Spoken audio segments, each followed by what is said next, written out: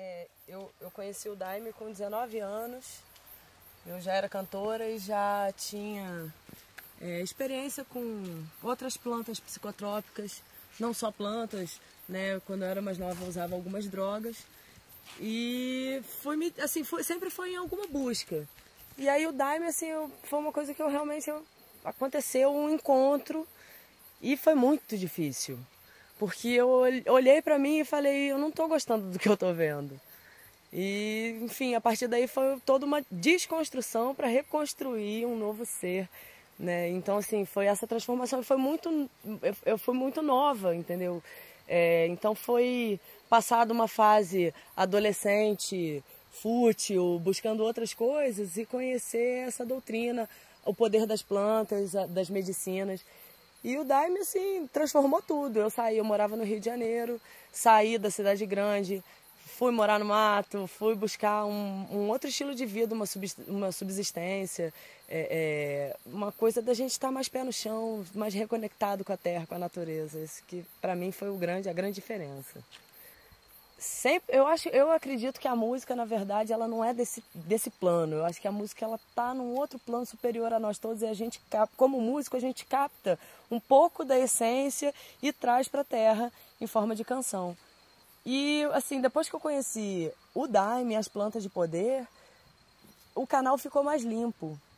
Porque assim, é todo um processo de, de você começar a tomar o Daime e se alinhar dentro disso. Até a gente conseguir ficar em pé com tudo que acontece com a gente.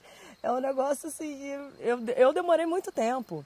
É, eu já cheguei cantora, então chegando, é, com a doutrina, uma doutrina musical, todo mundo me cobrava. E aí, Tainã, vai cantar? E eu não conseguia abrir a boca, porque eu era completamente aniquilada pela aquela força e aquilo tudo acontecendo. Eu falei, como que o povo consegue cantar assim? Mas aí, assim, a gente vai trabalhando, vai se apurando, vai alinhando.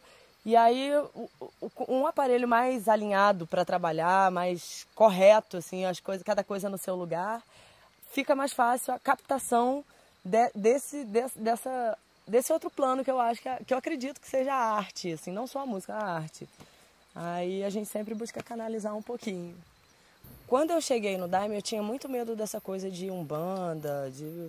sempre tive um pouco assim de receio. Porque eu, é, a gente sempre tem aquela ilusão de que a gente pode controlar tudo, entendeu? E na verdade, uma coisa, uma grande coisa que o Daime e a Umbanda mesmo me ensinaram foi que a gente não, não tem às vezes controle sobre o próprio aparelho.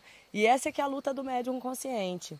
O médium é médium, não importa se ele está dentro de um terreiro de umbanda, de uma igreja católica ou de uma igreja de Santo Daime, entendeu? Ele é médium. Agora, como aquilo vai se manifestar? Existem formas de diferentes manifestações, até de entidades da Umbanda que trabalham dentro do Daime.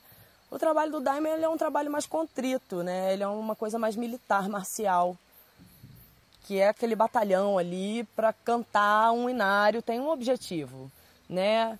Tem trabalho, sim, já que misturou, que é a, a, coisa da nossa casa mesmo, a baixinha que recebeu essa história, de unir a, a doutrina com a Umbanda, né? E aí desenvolver a mediunidade dentro da força da doutrina. Porque é muito, fácil, é muito mais fácil quando a gente toma uma bebida, uma planta de poder, né, de perceber a força, perceber a entidade que está chegando ali, e aí, assim, eu digo que o meu desenvolvimento mediúnico se deu através do Santo Daime depois que eu vim a conhecer a Umbanda, entendeu? E eu já tinha, já incorporava, e aí depois que eu fui me iniciar na Umbanda, que já tem um tempo lá e foi na, na história ainda da Baixinha com o Caboclo Tupinambá. E aí só me ajudou no, na, na, minha firmeza, no meu desenvolvimento, com os meu, com, no meu caminhar na minha vida, entendeu? Porque se eu mesmo não, não dou conta dos trabalhos das entidades mesmo, que elas me pedem, de ir, de fazer essa limpeza que eles mesmo vêm fazer, eu, a minha vida, eu começo a ficar doente. O negócio não fica muito bom, não. Eu tenho prazer.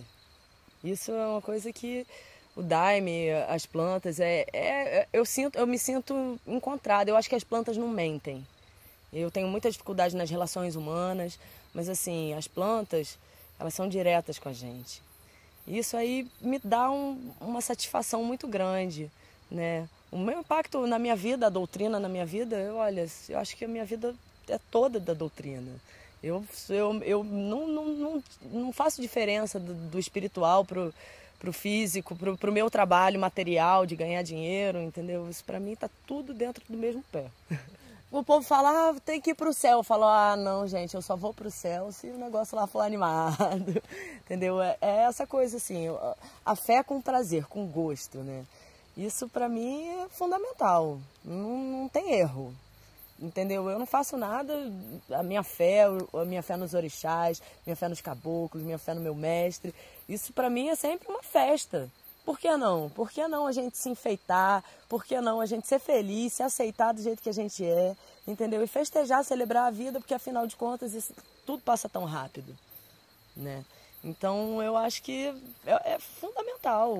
Essa coisa de que a fé é um negócio chato, maçante, repetitivo, é de gente que ainda não se descobriu. Pra caçar direitinho, que encontra, encontra. Não tem, não, porque a natureza, eu, eu costumo dizer que Deus tem um bom gosto maravilhoso. Que, poxa vida, o céu azul, as folhas verdes, o céu, o, o sol amarelo, o sol dourado, poxa, a água do rio, tudo tão bonito combinando. Quem não tá. Uma vez o, o pai João me falou é, que tem gente que reclama que a vida é só tristeza, só sofrimento, amargura, né, miséria.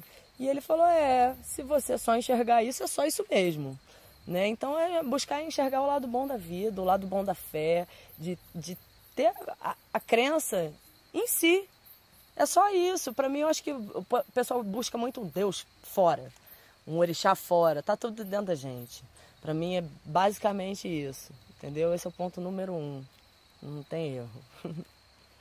Espiritualidade, eu acho que é a gente se encontrar.